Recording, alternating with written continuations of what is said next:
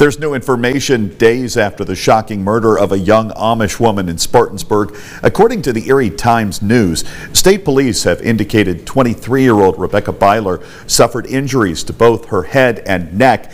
At this time, we have been unable to independently verify this information. On Monday, Byler was found dead inside her home on Fish Flats Road in Crawford County. No suspect has been named yet, and state police are still asking for any and all information that might lead to a break in the case, even what may seem like a small detail anything that maybe um, seems suspicious, if their gut instinct saying something's not right, we want that reported. We'll follow up on that. We'll, we'll make sure that that information is received here and then passed on to our investigator. So again, nothing is too small at this point. We're relying on the community and their help.